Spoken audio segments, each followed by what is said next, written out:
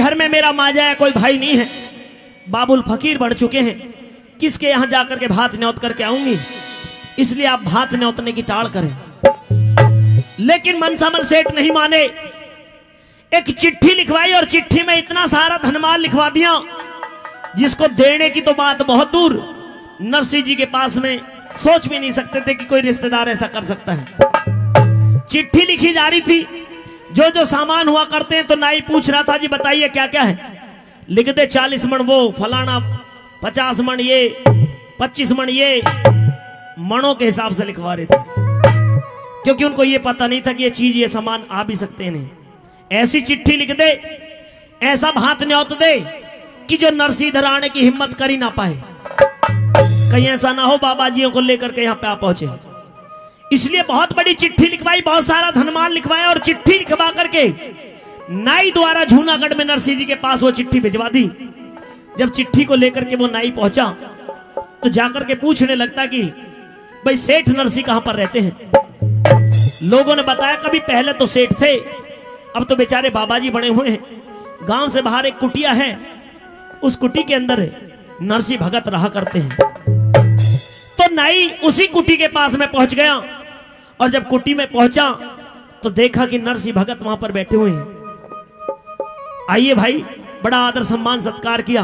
पूछा, कहाँ से आए हो? कि मैं सिरसागढ़ से आया हूँ।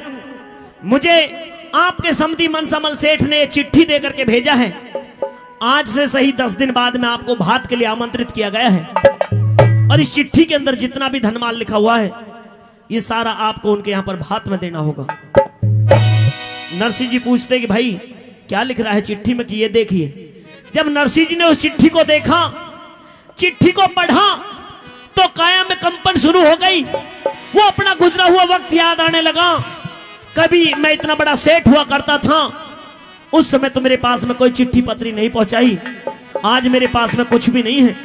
तो मेरे समधी ने मेरे रिश्तेदार ने इतनी बड़ी चिट्ठी लिखवा करके मेरे पास में भेजवाई है। चिट्ठी को पढ़ते ही, किस तरह की हालत नरसी भगत की हो जाती है। सुनेंगे दोनों कलाकारों के माध्यम से श्रागनी को। चिट्ठी पढ़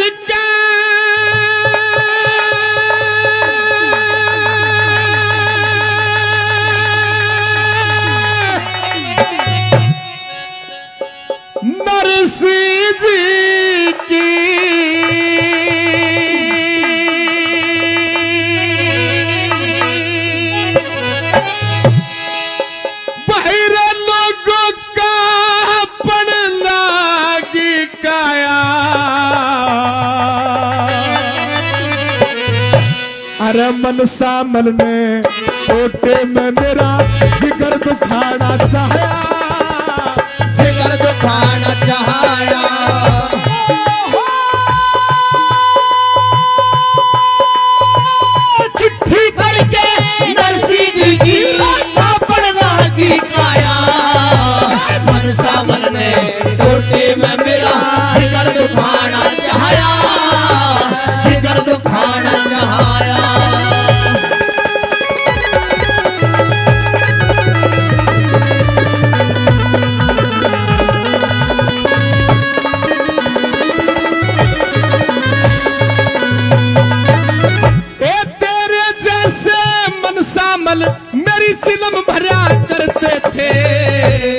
कर्जे की खातर पगड़ी मेरे पाया में धरते थे।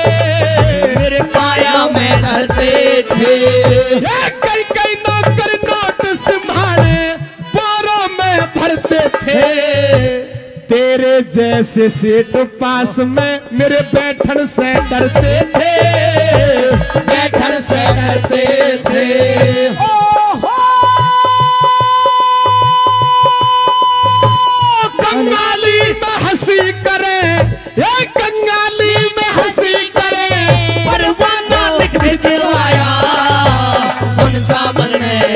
टोटे मैं मेरा जिगर दुखाना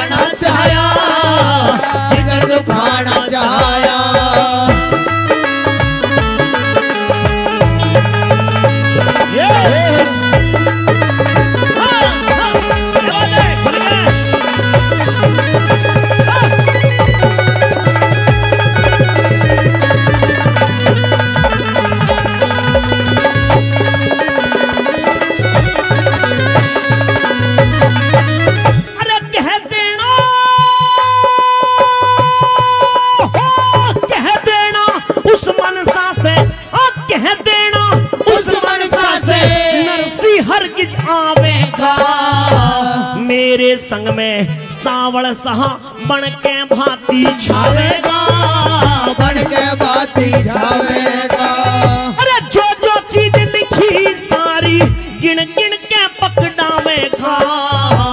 हीरे मोती कणी मणि पटड़े पे छलकावेगा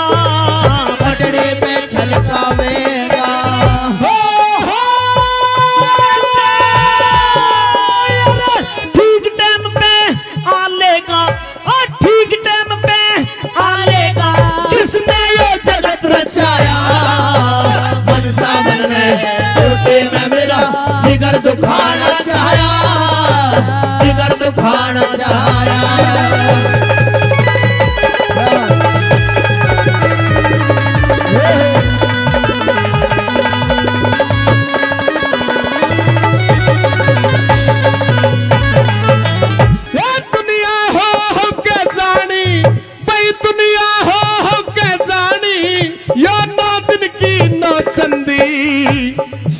महात्मा सबकी सुनते खोटी अकरी मंदी। खोटी अकरी मंदी। धन के मद में अंधा हो रहा मनसा मल मेरा समझी। अरे कह देना वो कह देना मेरी लाडो से ना ख्याल करे हर नंदी। ख्याल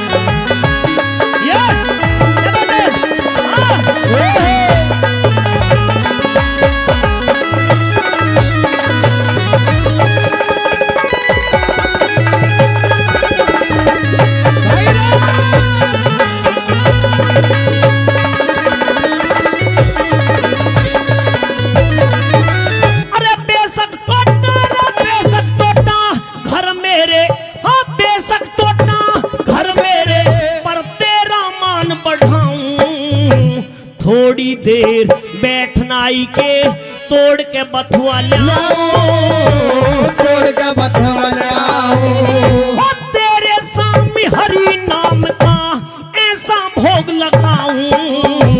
जो बन जागा सो दे दूँगा नेक तेरा ने मिटाऊं देख तेरा ने मिटाऊं